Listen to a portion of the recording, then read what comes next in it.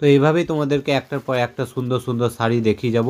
এখানে দেখতে পাচ্ছ আরেকটা শাড়ি নতুন বেরিয়ে চলে আসছে, তো এই শাড়িটা এখন ভালো করে খুলে তোমাদেরকে দেখাবো।